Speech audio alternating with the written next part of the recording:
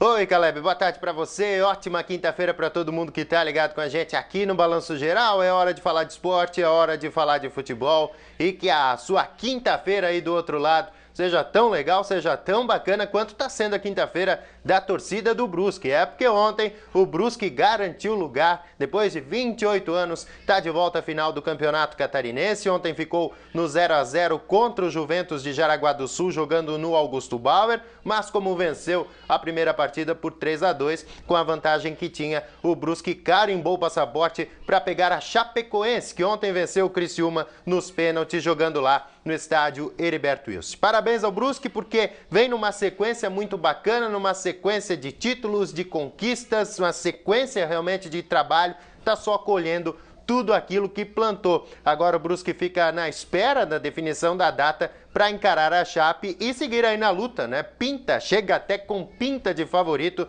na briga pelo título do bicampeonato de Santa Catarina. Parabéns ao Brusque e parabéns a esse cara, o Gerson Testoni, que depois do jogo resumiu um pouquinho da trajetória dele, uma trajetória, eu diria assim, muito rápida até chegar a essa final do Campeonato Catarinense. Fala aí, Gerson. Para mim é uma emoção muito grande, né?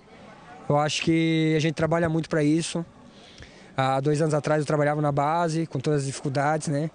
E hoje ter uma oportunidade de chegar na final de estadual, de ter conquistado a Copa Santa Catarina, uma Recopa, eu não, né? O grupo, e chegar na final de estadual é, é gratificante, emocionante.